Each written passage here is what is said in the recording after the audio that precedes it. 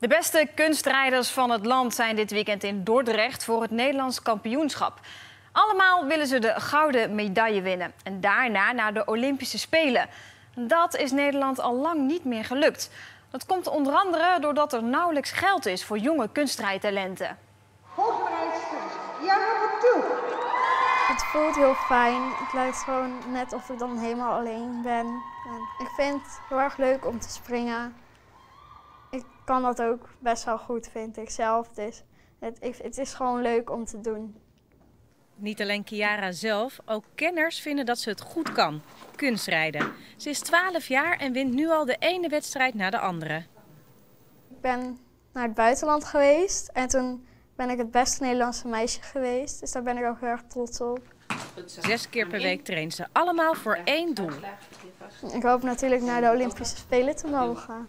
En gewoon in de nog hogere categorieën natuurlijk ook nog Nederlands kampioen te worden. Omdat Kiara zo'n groot talent is, betaalt haar club de lessen.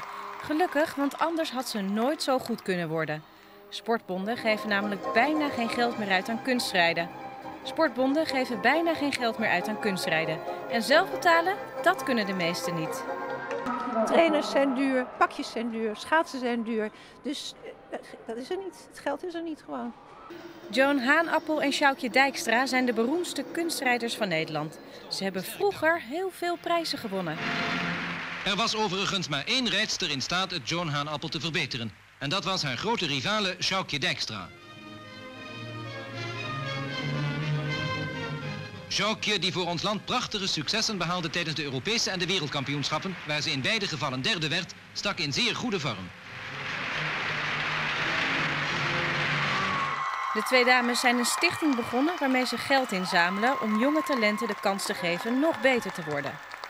Door uh, goede trainers, meer ijs en uh, ja, dat zij hun dromen kunnen waarmaken. Wat wij vroeger fantastisch vonden om te doen, om de, jonge kinderen weer te helpen om toch weer aan de top te komen.